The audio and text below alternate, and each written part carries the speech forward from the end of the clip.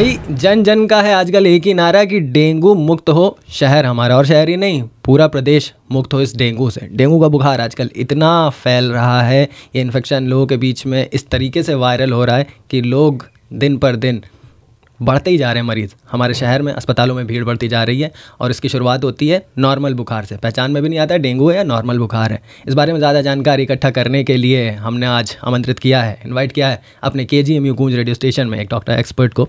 उनसे मुखातिब करवाएँगे आपको। पहले बता दें K G M U Goonj eighty nine point six mega की फ्रिक्वेंसी पर मैं हूँ, शिवाय आपके साथ में। शाम शानदार शो में छः से नौ आपको सुनाई देता हूँ। हमारे एप्लीकेशन को डाउनलोड करके आप अपने प्ले स्टोर से, विश्व में कहीं पर भी हमें सुन सकते हैं। सर, आज हमारे साथ में जिनका दारूफ आपसे करवाएँ। Introduction doctor doctor Sanjeev Kumar Verma ji हैं हमारे साथ में additional professor department of paediatrics K G M U UP Lucknow से। सर आपका स्वागत है वेलकम स्टूडियो में। थैंक यू शिवाय मैं doctor Sanjeev Verma additional professor paediatrics K G M you और मैं बच्चों में आज वायरल बुखार पे चर्चा करूँगा। जी। अमूमन वायरस जो होते हैं ये इनर्ट पार्टिकल होते हैं अगर वातावरण में पड़े रहें तो ये कुछ भी नहीं कर सकते।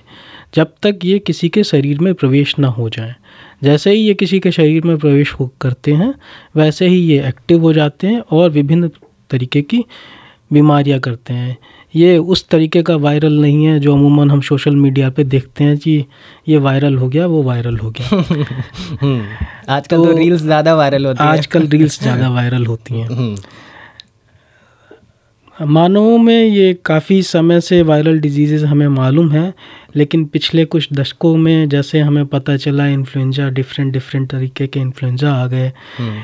कुछ समय पहले सार्स को वायरस आया था फिर मार्स वायरस आ गया फिर हम्म। कोविड वायरस आ गया फिर स्वाइन हम्म। फ्लू वायरस आ गया तो इसी तरीके के में एक डेंगी वायरस भी है और भी बहुत ढेर सारे वायरसेस हैं जो अलग अलग तरीके के वायरस जनित रोग करते हैं हम्म।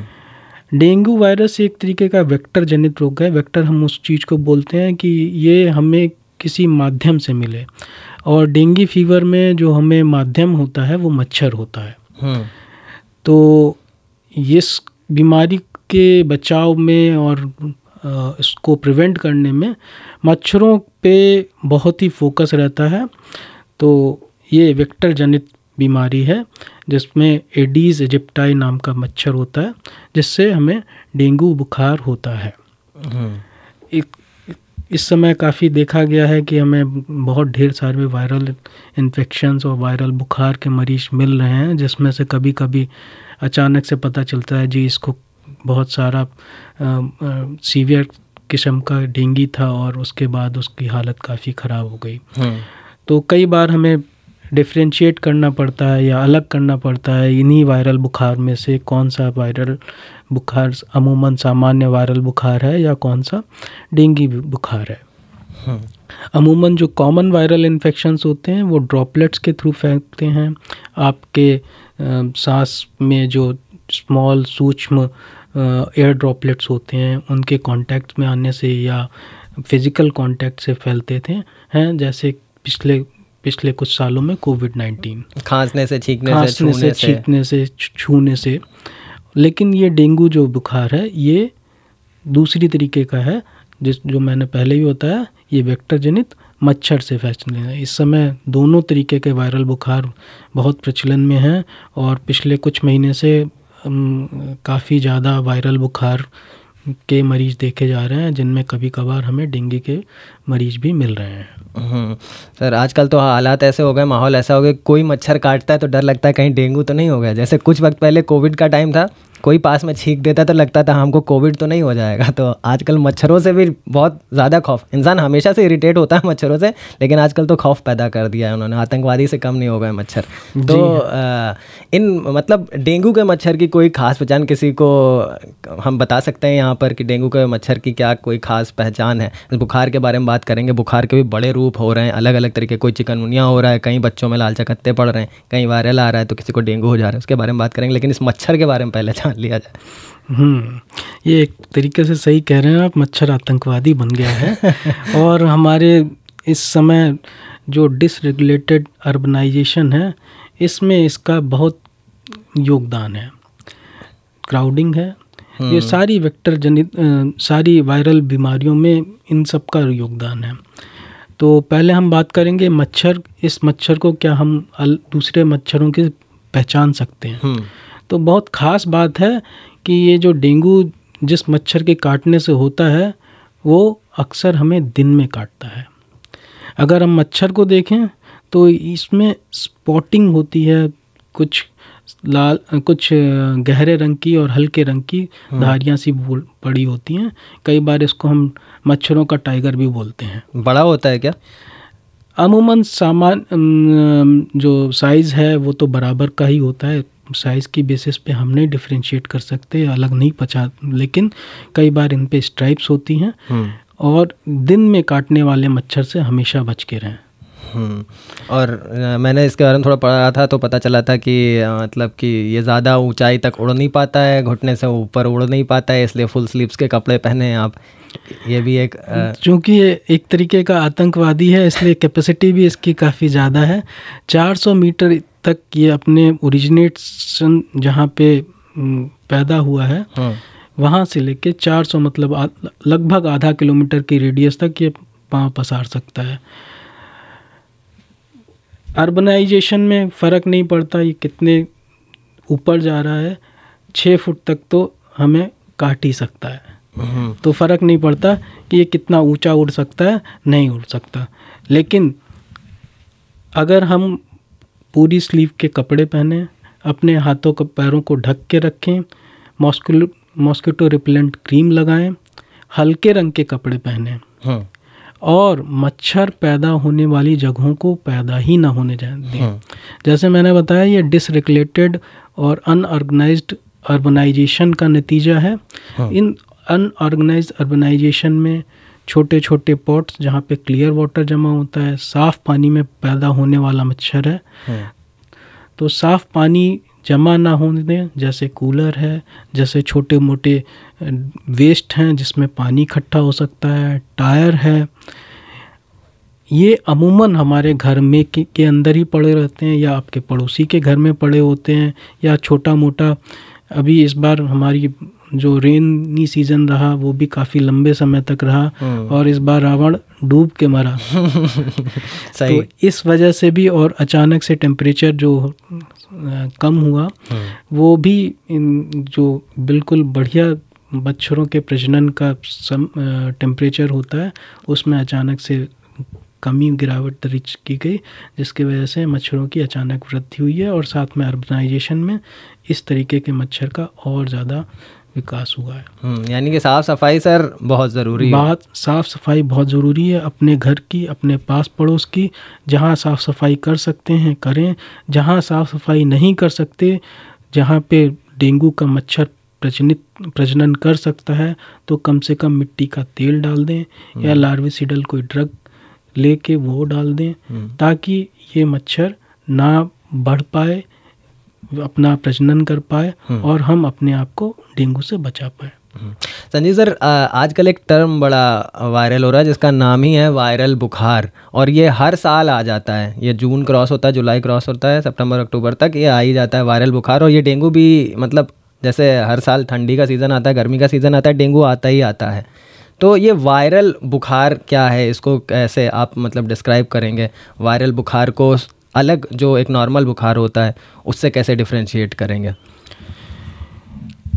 वायरस कम से कम काफ़ी अलग अलग टाइप के वायरसेस होते हैं, जो अमूमन वायरस वायरल बुखार होते हैं। Mostly upper respiratory tract infections के बुखार होते हैं, जिसमें कॉक्सेकी है एडिनो है, और भी बहुत ढेर सारे डिफरेंट टाइप के रेस्पिरेटरी वायरसेस हैं, जो अपने शरीर में घुसते हैं मोस्टली एयर ड्रॉपलेट्स के थ्रू हम्म। जो हमने कोविड नाइन्टीन में प्रिकॉशंस लिए थे मास्क पहने बार बार हाथों को धोएँ फ़िज़िकल कांटेक्ट से बचें हम्म, ये सारे वायरल बुखार को भी प्रिवेंट कर सकते हैं ये अक्सर कुछ कुछ महीनों पे आ जाते हैं काफ़ी समय तक रहते हैं और इनका कारण यही है कि इस समय जिस हिसाब से हमारा अर्बनाइजेशन हुआ है हम्म। और क्राउडिंग होती है तो एक व्यक्ति से दूसरे व्यक्ति में दूसरे व्यक्ति से तीसरे व्यक्ति में और ये काफ़ी बड़ा मास बन जाता है जिसकी वजह से हम अचानक से वायरल बुखार का ज़िक्र करने लगते हैं हम्म। सर वायरल बुखार डेंगू वाला बुखार आ रहा है उसको भी वायरल बुखार कह रहे हैं बाद में पता चल रहा है कि अगर टेस्ट वेस्ट करवा रहे हैं तो पता चल रहा है चिकनगुनिया हुआ है तो वो भी वायरल की कैटेगरी में ही आ रहा है। तो क्या ये सारे अलग अलग जो बुखार हैं, बच्चों में लाल चकत्ते वाला बुखार भी आ रहा है, उसके बारे में भी जाने। ये सब वायरल बुखार का ही पार्ट हैं, कहते हैं कि एक पेड़ की अलग अलग शाखा जैसे होती हैं, उसी तरीके से हैं ये? या ये अलग अलग बुखार हैं सब? ये कह सकते हैं कि ये एक तरीके से अलग अलग वायरस ने अपना अलग अलग शरीर में प्रवेश करने का तरीका बना रखा है हाँ। और ये वायरल सारी डिज़ीज़ हैं तो अधिक मोस्टली जो वायरसेस हैं रेस्पिरेटरी ट्रैक्ट के थ्रू घुसते हैं और वहीं से सिम्टोमेटोलॉजी शुरू करते हैं तो आ, जो आम तौर के जो वायरस वायरल बुखार होते हैं उनमें तेज बुखार कई बार कप कप कप कपी लग के बुखार आना हाँ। शरीर में थोड़ा बहुत दर्द होना हाँ। और अमूमन दो से तीन दिन में कुछ सर्दी जुकाम के साथ धीरे धीरे इम्प्रूवमेंट शुरू हो जाता है। और हमारी बदकिस्मती सर ये है कि ये जितने भी वायरसेस हैं जैसे अलग अलग आपने बताया इनको एक जो उनके अनुकूल जो वातावरण है इसी टाइम मिला हुआ है इसीलिए एक साथ सारे अलग अलग बॉडी में घुस रहे हैं जहाँ उनको माहौल मिल रहा है ना? जी तो हाँ। ज़्यादा सजग रहने की ज़रूरत है। सर आ, यहीं पे मैं ये चीज़ ज़रूर बता दूँ कि डेंगू बुखार इनमें से कैसे डिफ्रेंशिएट कर सकते हम्म, हैं? हम्म। इन्हीं वायरल बुखार बुखार जो हमने बताए इनमें डेंगू वायरस का जो बुखार है, ये काफ़ी, तीव्र और काफ़ी सीवियर फॉर्म का होता है। इसमें ना केवल शरीर में दर्द, तेज बुखार जाड़ा लग के बुखार आना, कई बार आँखों के पीछे दर्द होना, इसको हड्डी तोड़ बुखार भी कहते हैं। कई बार इतना तेज़ दर्द होता है कि ऐसा लगता है कि हड्डियों में जान नहीं रह गई है। हम्म, हम्म, हम्म। तो ऐसे में आपको सब सचेत हो जाना चाहिए कि ये नॉर्मल बुखार से कहीं ज़्यादा तो नहीं है। कहीं ये डेंगू तो नहीं हो सकता। इसके साथ में शरीर पे लाल रंग के न केवल चकत्ते आ जाना बल्कि कई बार केवल फ्लशिंग नौ अमूमन जो हमारी त्वचा का रंग था उससे ज़्यादा लाल हो जाना। ऐसा भी देखा गया है। कई बार कहीं से खून आ जाना लैट्रिन में खून आने जाना या नाक से मुँह से हम्म। या जिंजाइवा पे यहाँ पे खून आ जाना या छोटे स्मॉल पटेकी जिसको बोलते हैं हम्म। लाल रंग के चकत्ते छोटे से आ जाना हम्म। वो सब एक तरीके से आपको इंडिकेट कर रहे हैं कि कहीं आप नॉर्मल अमूमन होने वाले वायरल बुखार से ज़्यादा तो नहीं है कहीं ये डेंगू का लक्षण तो नहीं है इसके साथ मैं ये भी बता दूँ कि ये जो हमने अभी पीछे कुछ सिम्टम्स बताया जिसमें लाल रंग के चकत्ते रैश और ये सब होना ये केवल डेंगू के साथ नहीं है और भी ढेर सारे कारण होते हैं जिनमें ये बीमारियाँ जिनमें ये लक्षण हो सकते हैं हम्म। लेकिन डेंगू इनमें से एक है और इस समय के मौसम में जब मच्छर जनित रोग काफ़ी ज़्यादा प्रभावकारी और काफ़ी प्रकोप में है तो डेफिनेटली हमको डेंगू बिल्कुल सोचना पड़ेगा। सर, लाल चकत्ते वाली बात आपने कही और वो हमारे दिमाग में भी है और हम देख भी रहे हैं कि छोटे बच्चों में खासकर कई सारे केसेस ऐसे सामने आए कि उनके शरीर में लाल चकत्ते हो रहे हैं और उनको तेज़ बुखार आ रहा है। तो ये लाल चकत्ते वाला बुखार है, इसके पीछे का क्या राज है, इसकी क्या कहानी है, इसको थोड़ा सा बताएँ। ये भी क्या डेंगू ही है?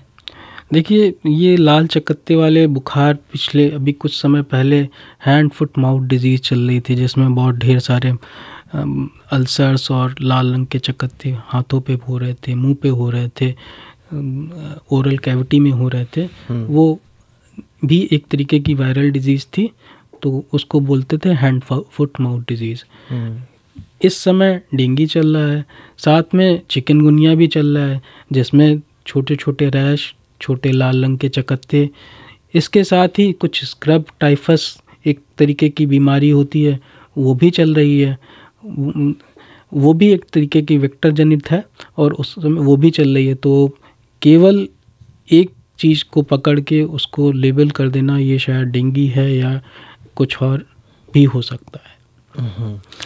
बट डेफिनेटली अगर ये सब चीज़ें हो रही हैं तो आपको डॉक्टर से संपर्क करना है। अपने दिमाग में घंटी बजा लेनी है कि अब हम और घर पे बैठ के केवल इसको नॉर्मल बुखार की तरह नहीं देख सकते इसको हमको आगे टेस्ट कराना ही है। नॉर्मली सर ये बुखार कितने दिनों तक के लिए रहता है और जो डेंगू बुखार की हम लोग बात कर रहे हैं, इसकी बात कर रहे हैं तो ये कितने दिनों तक रहता है और इसके, और इससे, इसकी सावधानी इसके बारे में क्या हम ले सकते हैं इससे जुड़ी? डॉक्टर के पास में जाएँगे, ये तो हम, हमने जान लिया कि हमें अगर इस तरीके के कुछ भी लक्षण होते हैं तो हमें खुद से कोई दवा नहीं लेनी है। डॉक्टर के पास में जाना है और क्या क्या सावधानियाँ बरती जा सकती हैं देखिए डेंगू बुखार का जो इंक्यूबेशन पीरियड होता है मतलब जब से बच शरीर में डेंगू का वायरस घुसा और वो परिलक्षित हुआ उसके सिम्टम्स आए हम्म। उसका अमूमन पीरियड होता है पाँच से छः दिन हम्म। लेकिन जो शरीर में वायरस डिटेक्शन का टाइम होता है बुखार आने से एक दो दिन पहले से वायरीमिया शुरू हो जाता है।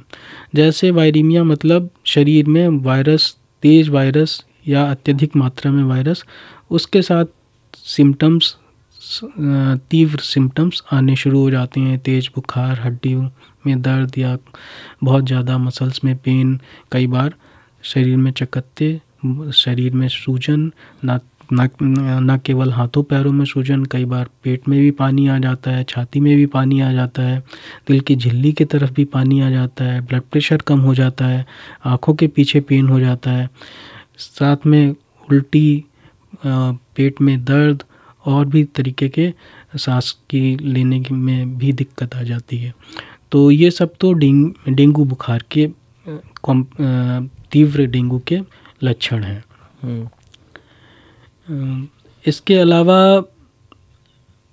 मैं कहना चाहूँगा कि जो हम चीज़ें कर रहे हैं और देख रहे हैं इसमें मोस्टली लोग सेल्फ मेडिकेशन करते हैं या ओवर द काउंटर किसी भी केमिस्ट के पास गए और कुछ दवा ले ली हम्म। जिससे उसको आराम मिल जाए क्योंकि हम्म। मरीज़ इतना परेशान होता है किसी भी दवा से कई बार वो इस हालत में भी नहीं होता कि डॉक्टर के पास जा पाए हम्म। तो छोटी मोटी दुकान से वो लेके कुछ दवा खा लेता है तो मैं बिल्कुल वार्न करना चाहूँगा सभी को कि ऐसा over the counter self medication अपने आप से दवाओं का सेवन ना करें हम्म। डेंगू में बहुत खासियत है कि ये दवा अपने आप से लेने से मर्ज बिगड़ जाता है। सर पैरासीटामोल खाते हैं लोग बुखार आता है। नॉर्मली बुखार आता है तो पैरासीटामोल बहुत प्रचलित है। खा लेते हैं लोग।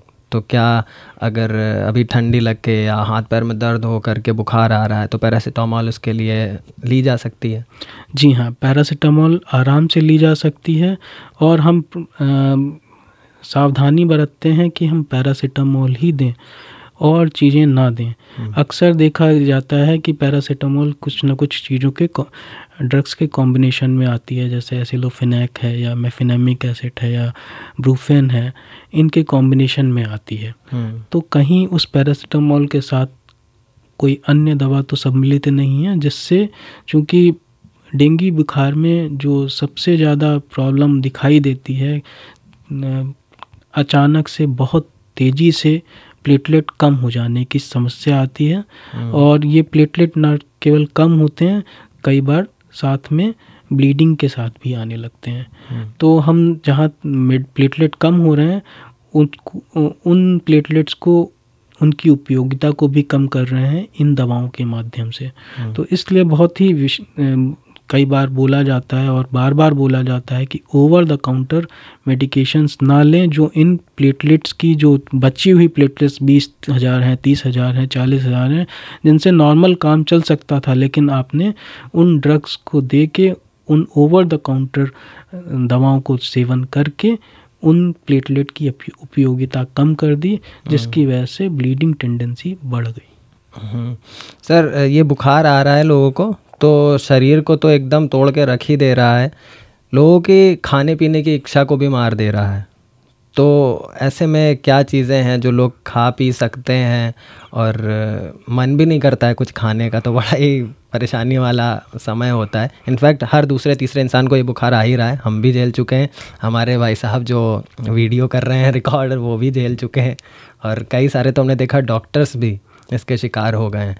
तो बताएँ सर प्लीज़ कि इस पीरियड में क्या खा सकते हैं? लोग खिचड़ी खा करके ही रह रहे हैं, क्योंकि भाई, कई लोगों को सर अल्सर हो जा रहा है। मुझे खुद को अल्सर हो गया था मेरी ज़ुबान में छोटे छोटे छाले टाइप से पड़ गए थे तो खाने में भी दिक्कत हो रही थी। तो ऐसा अगर होता है तो क्या चीज़ें सही रहेंगी?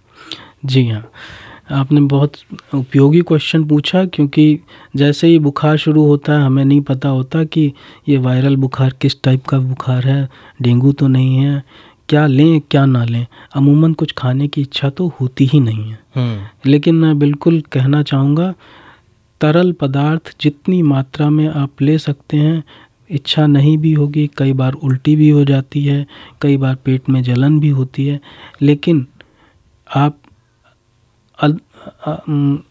अन्य मेडिकेशंस के साथ जो भी डॉक्टर ने बताई हैं कुछ कुछ तरल पदार्थ ज़रूर लेते रहें और अगर डेंगू का शक भी लग रहा है और शरीर में कहीं पे स्वेलिंग आ रही है तो आप तरल पदार्थों को बढ़ा दें हम्म। साथ में ओआरएस का सेवन शुरू कर दें चूँकि खाना कम हो जाता है शरीर में एनर्जी कम लगती है हम्म। तो ऐसे तरल पदार्थ लें जैसे पतली दलिया है हम्म। छाछ है नारियल पानी है शिकंजी है जिनसे या विभिन्न प्रकार के सूप हैं चावल का पानी है चावल का माड़ है जिससे आपको न केवल शरीर में लिक्विड जाए हम्म। तरल पदार्थ जाए बल्कि आपके शरीर में थोड़ी बहुत एनर्जी जितनी भी आप उस हिसाब से ले रहे हैं कम से कम पहुँचती रहे ताकि आप इस बुखार का मजबूती से मुकाबला कर सकें हम्म। चूँकि आपने बताया कि मुँह में छाले भी पड़ जाते हैं हम्म। तो बहुत सारी बीमारियाँ हैं जैसे अभी मैंने पीछे ज़िक्र किया था हैंड फुट माउथ डिज़ीज़ थी जिसमें काफ़ी समय तक छाले रहते रहे थे कई बार ये छाले उस बीमारी का द्योतक होते हैं हम्म। कई बार ये छाले उस बीमारी का कॉम्प्लिकेशंस होते हैं जैसे डेंगू बुखार में लाल रंग के चकत्ते पड़ जाते हैं कई बार ये उस दवा से जो हमने ओरल मेडिकेशन ली है हम्म। पैरासीटामोल लिया है या पैरासीटामोल के साथ अन्य तीव्र दवाएँ ली हैं हम्म। कई बार ड्रग एसोसिएटेड होते हैं एंटीबायोटिक एंटीबायोटिक एसोसिएटेड होते हैं और कई बार आपकी पुरानी जो माइक्रो न्यूट्रिएंट डिफिशियंसी और मल्टी विटामिन डिफिशियंसीज आपके शरीर में पहले से थी हम्म। और उसको इस तेज बुखार ने और उभार के रख दिया हम्म। तो उनकी वजह से होता है तो ऐसे में जैसे जैसे जो जो चीज़ें पता चलती हैं उस हिसाब से इलाज किया जाता है अमूमन हमारा जो ये होता है कि कम से कम छालों को इतना आराम दिया जाए ताकि बच्चा या मरीज़ या बड़ा कुछ खा सके हम्म। तो हम एनेस्थेटिक जेल होते हैं और कुछ टॉपिकल एंटीसेप्टिक जेल होते हैं वो लगाने के लिए देते हैं ताकि ओरल जो भी इच्छा है वो हम्म। आराम से ले सके। हम्म। सर ये बुखार आता है डेंगू का बुखार आता है तो शरीर में खून की भी कमी हो जाती है प्लेटलेट्स की भी कमी हो जाती है। इसको कैसे खाने पीने से मेंटेन किया जा सकता है? जी हाँ। अक्सर हमको बोला जाता है कि शरीर में खून की भी कमी हो गई डेंगू के साथ और पानी की भी कमी हो गई। लेकिन मैं आपको बताना चाहूँगा कि शुरू में जैसे मैंने अभी बताया था तेज़ बुखार के साथ शरीर लाल दिखने लगता है हम्म। या तो ऐसे में कई बार चूँकि शरीर से फ्लूड का सीपेज हो रहा होता है शरीर के अंदर ही ब्लड वेसल से निकल के पेट में फेफड़ों में और वेसल्स के बाहर जाने लगता है तो पहले तो हमें दिखता है कि मरीज़ लाल हो रहा है और हीमो कंसंट्रेशन होने लगा है खून पहले उसका दस दस था लेकिन अभी बारह आया हम्म। लेकिन जैसे ही उसने फ्लूड लेना शुरू किया हम्म। चाहे वो तरल पदार्थ ही हो तो वो हीमोग्लोबिन कम होने लगता है और अक्सर पाया गया है कि वो अगर आईवी फ्लूड पे था इन फ्लूड उसको दिया जा रहा था ग्लूकोज के माध्यम से तो आईवी ग्लूकोज दिया जा रहा था तो वो उसका हीमोग्लोबिन कम आता है तो इसमें मैं यही बोलूँगा कि जो भी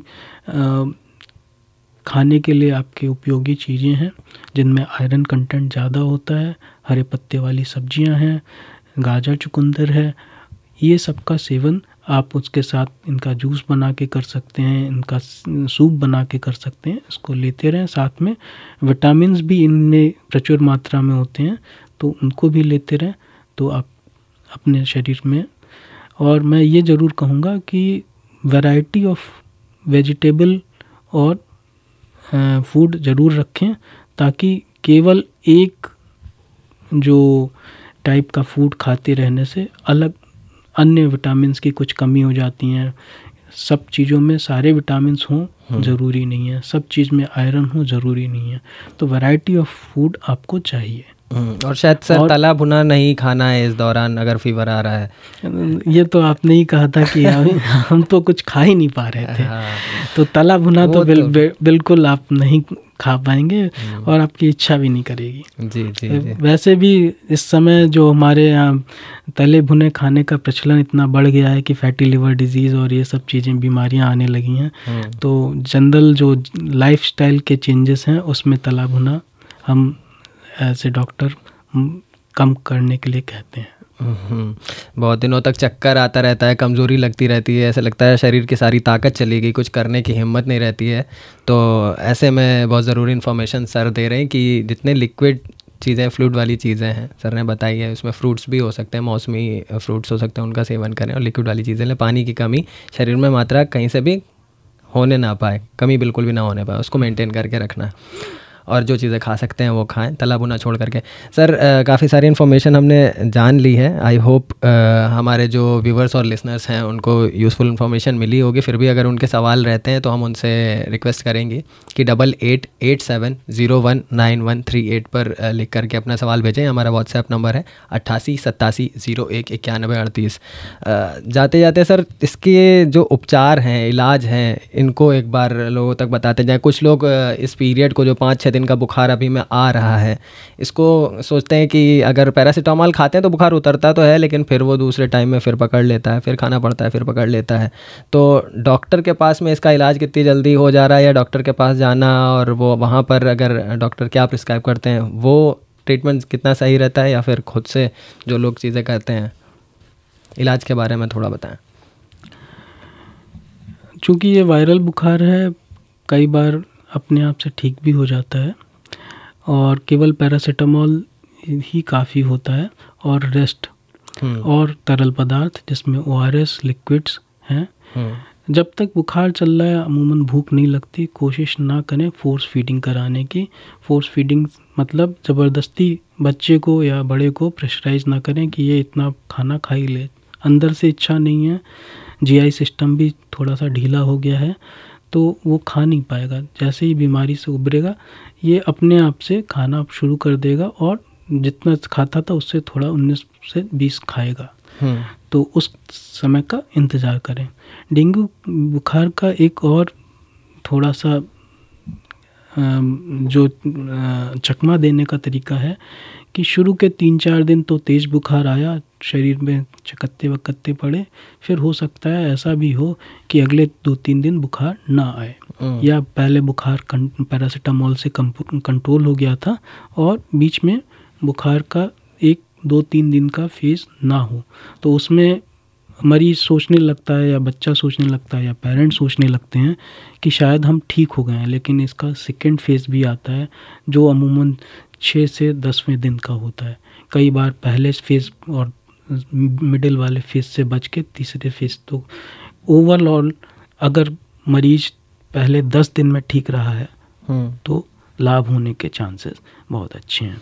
अगर डेंगू डायग्नोज हुआ है तो इतने समय तक संयम बरतें डॉक्टरों की निगरानी में रहें कांटेक्ट में रहें और जो जो जैसे जैसे बताया जाए वैसे वैसे करें। पैरासीटामोल जीआई अपसेट गैस्ट्राइटिस के लिए जो डॉक्टर दवा लिखते हैं उसके उसका सेवन करें प्लेंटी ऑफ़ लिक्विड जितना डॉक्टर बताता है हम्म। उसका सेवन करते रहें तो अमूमन हर पाँच में से चार मरीज़ ठीक हो जाते हैं केवल इसके सर टेस्ट की टेस्ट की इम्पोर्टेंस छूट रही थी। टेस्ट की क्या इम्पोर्टेंस है? पता पता कैसे चले? बुखार आ रहा है तो फिर आज के डेट में हर डॉक्टर कहता है सबसे पहले जाँच करवाओ भाई अपना देखो जा करके तुम्हारा प्लेटलेट और डेंगू ये सारी चीज़ें कुछ कॉमन जाँचें अभी लिखी जा रही हैं। इनकी क्या इम्पोर्टेंस है? जी हाँ।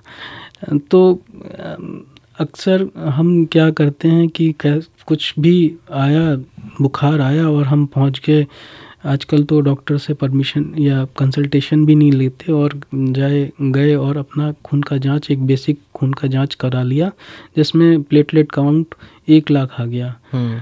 उस पर बहुत ही हाईलाइटेड करके आता है कि एक लाख प्लेटलेट काउंट है और अननेसेसरी का पैनिक हो गया जिसकी वजह अरे प्लेटलेट गिर रहे हैं हम्म। जितना दिमाग में नहीं चल रहा था उस बुखार कम हो चुका था हम्म। और सारी चीज़ें कंट्रोल में थी लेकिन एक लाख के प्लेटलेट या नब्बे हज़ार के प्लेटलेट को देख के और ज़्यादा पैनिक मोड में आ जाते हैं। हम्म। तो इससे बचना चाहिए। क्लिनिकली डॉक्टर अपना डिसाइड कर सकता है कि ये स्टेबल मरीज़ है इसमें और ज़्यादा करने की ज़रूरत नहीं है।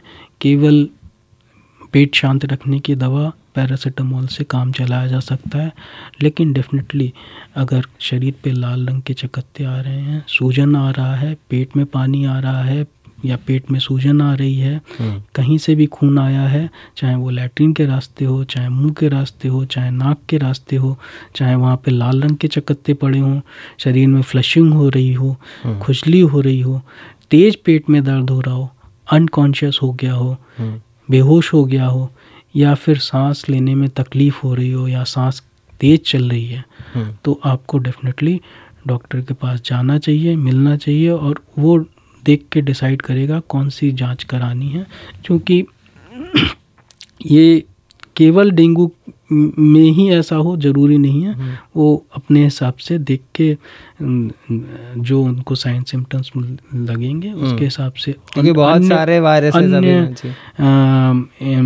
डिज़ीज़ के लिए भी जाँच कराएगा उसमें आपको निकल के आएगा कि क्या बुखार है हम्म। हो सकता है डेंगू ना हो स्क्रब हो या कोई और तरीके का बुखार हो जिसके लिए आपको हो सकता है केवल ओरल मेडिकेशन से काम चल जाए सर बस ज़्यादा वक्त ना लेते हुए आपका एक और छोटी सी जानकारी कि अगर मेडिकल कॉलेज के आसपास, कोई किंग जॉर्ज मेडिकल यूनिवर्सिटी के आसपास बहुत सारे लोग होंगे विवस या लिसनर जो हमें सुन रहे होंगे, देख रहे होंगे, अगर उनमें से किसी को ऐसे सिम्टम्स होते हैं, ऐसे लक्षण होते हैं तो अपने किंग जॉर्ज मेडिकल कॉलेज में इसके लिए क्या व्यवस्था है? कहाँ पर लोग जा कर के इसका उपचार ले सकते हैं?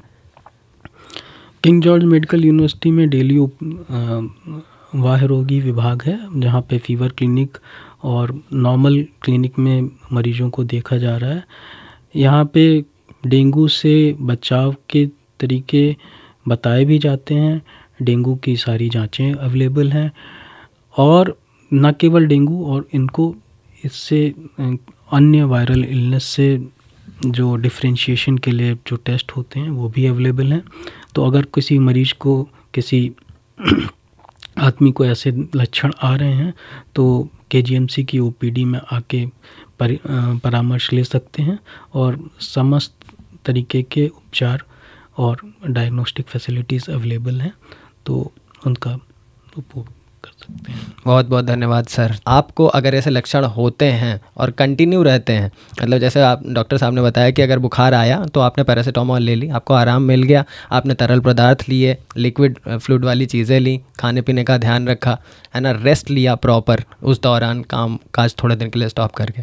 आराम मिल जाता है तो ठीक है, नहीं मिलता है, लक्षण बढ़ते जाते हैं तो तुरंत डॉक्टर के पास में विज़िट करिए। होपफुली सारी चीज़ें जल्दी ठीक हो जाएँगी। बहुत बहुत थैंक यू सर हमारे साथ में जुड़ने के लिए। और एक बार फिर से आपसे कहेंगे, जितने भी व्यूवर्स और लिसनर्स हमारे साथ में जुड़े हैं, अगर आपके कुछ सवाल हैं इस बीमारी से संबंधित तो ज़रूर हम तक पहुँचाइए। व्हाट्सएप नंबर हमारा वही है, अट्ठासी सत्तासी ज़ीरो एक इक्यानबे अड़तीस। अभी के लिए इजाज़त, कुछ और बढ़िया ज़रूरी जानकारी के साथ आपके साथ यहीं पर जुड़े रहेंगे। K G M U Goonj eighty nine point six megahertz पर